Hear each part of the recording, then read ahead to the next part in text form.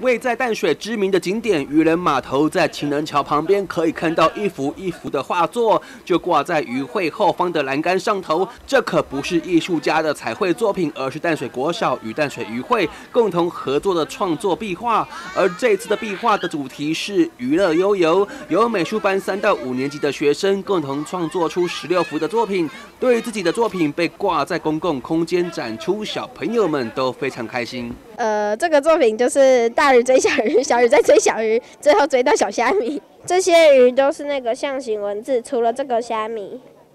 其他都是象形文字画的。然后就分组创作啊，我们这组就是那个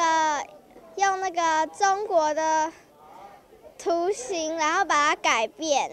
啊，我们这组就是比较类似水墨的那个白色的底呀。然后呢，然后就是。加一点颜色进去。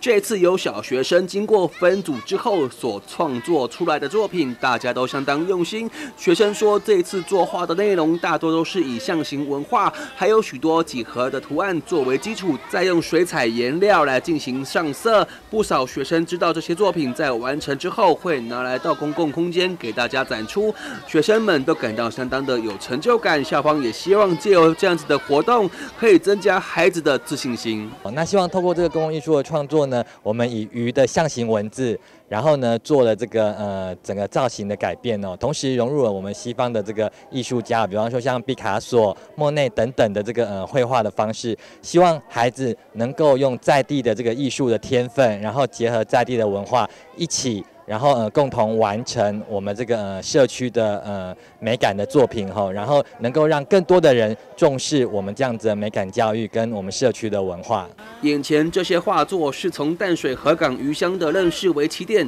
借由鱼的象形文字作为发想，参着西方艺术大师米罗、梵谷、毕卡索等创作手法，呈现出鱼儿活跃、悠游、充满生命力的画面。同时，也借由公共艺术大型制作，训练孩子们。的融合社区资源挑战创作巨幅作品展现自信心与表达力透过艺术的力量美化自己的家园。